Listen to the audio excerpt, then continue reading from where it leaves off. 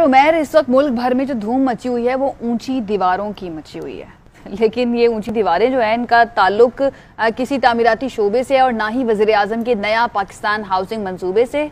इसका कुछ लेना देना ये है बिलाल सईद और मोमिना मुस्तहसन का नया गाना ऊंचिया दीवारा जिससे सोशल मीडिया पर धूम मचा कर रखी हुई जी बिल्कुल जी बिल्कुल रिकॉर्ड्स उनसे हैं वो कायम किए जा रहे हैं। इस गाने की जानब से गाने की वीडियो में रहीम परदेसी को भी किरदार दिया गया है और यूट्यूब पर अपलोड होने के बाद सिर्फ़ दो दिन लगे हैं इस गाने को और इसने पिछहत्तर लाख से ज़्यादा बार इस गाने अच्छा, को देखा जा चुका और ये सेकंड पार्ट है पहले जो बारी गाना था उसका ये सेकंड पार्ट है बारी टू है। बारी टू कह सकते हैं और ये मुसलसल टॉप ट्रेंड में है जब से ये गाना जो है रिलीज़ हुआ और इस गाने ने अली ज़फ़र के अल्ले से पहली पोजीशन जो है वो छीन लिया और अब मुसलसल शायकीन में बहुत ज़्यादा मकबूल है। तो गुलकार बिलाल सईद ही हमारे साथ मौजूद हैं। उनसे बात करते हैं। बिलाल बहुत शुक्रिया हमें ज्वाइन करने के लिए। आ, सबसे पहले तो रिस्पांस कैसा मिला आपको? क्योंकि रिकॉर्ड तो बना रहे हैं वो तो हम देख ही रहे हैं। और ये ख्याल कैसे आया कि आपने बारी टू भी बनाना है और कैसे इसको जोड़ा? कितना मुश्किल था ये?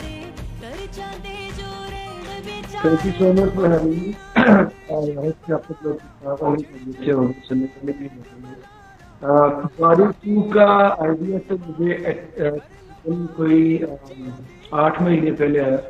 बैठे बैठे स्टूडियो में आई जस्ट हैड आइडिया कि यार अगर वो स्टोरी होती है तो किस टाइप पे जाए तो फिर मैंने अपने दिमाग में एक स्टोरी बनाई बिकॉज़ मोमिना पहले पार्ट में बोलती हैं कि मेरा पहला भी दिल टूटिया तो मुझे, मैंने लगा कि okay a girl who is actually scared to listen to her heart अगर तो उसका दिल फिर से टूटेगा तो how she is gonna act तो आई थिंक वहाँ से फिर एक स्टोरी क्रिएट हुई।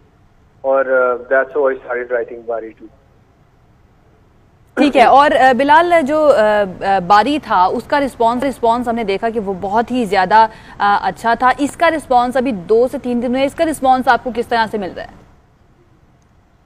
एक्चुअली आई एम सरप्राइज़ मैंने सोचा था कि हाँ बिल्कुल क्योंकि लोगों की एफिलिएशन बहुत है बारी की स्टोरी के साथ एंड ऑलमोस्ट लोगों ने इसको ऐसे ऑन किया जैसे उनकी अपनी स्टोरी है।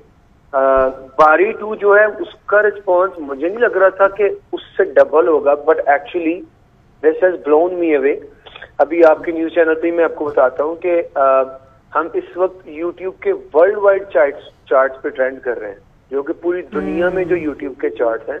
हम उस पर टॉप ट्वेंटी में हैं हम इंडिया पे टॉप एट में हैं हम इंग्लैंड में टॉप ट्वेंटी में हम पाकिस्तान में नंबर वन पे हैं।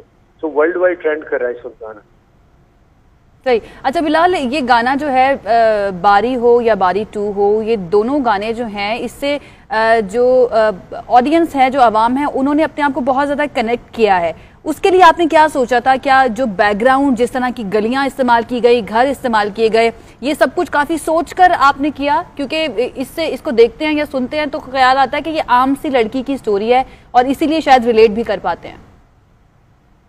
ऐसा बिल्कुल ऐसा ही है ये जो स्टोरी है ये एक बिल्कुल नॉर्मल जिस तरह हर किसी की ज़िंदगी में अगर कोई ऐसा इंसान आता है कि जो उसको अच्छा लगता है देन अगर तो क्योंकि देखिए जब एक गाना बनता है तो उसकी जो फील होती है ऑडियो की जो उसके लिरिक्स होते हैं वो डिसाइड करते हैं कि ये गाना इसको शूट कहाँ पे करना है हम्म। तो मुझे I don't know somehow straight away जब मैंने बनाया हालाँकि मेरे ख्याल में ये पहला ऐसा गाना था जो मैंने पाकिस्तान में बाकायदा शूट किया और लोगों को ये क्लियर हुआ कि मैं एक पाकिस्तानी सिंगर हूँ। अदरवाइज़ तो मुझे कभी इंग्लैंड का बना देते थे कभी सोचते थे मैं पता नहीं क्रॉस द बॉर्डर कैसे so I think yes they could connect with the story उसमें बहुत ज़्यादा इम्पैक्ट है uh, जो हमने अंदरून लाहौर दिखाया। एक्चुअली बड़ी मज़ेदार बात है जो लोग पाकिस्तान से बाहर हैं उन्होंने बड़ा इंजॉय किया इस चीज़ को। हम्म। यार हम्म। आपने हमें पाकिस्तान याद करवा दिया।